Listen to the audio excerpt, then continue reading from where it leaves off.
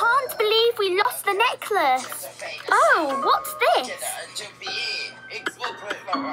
Hmm. Can anyone say dragon horns?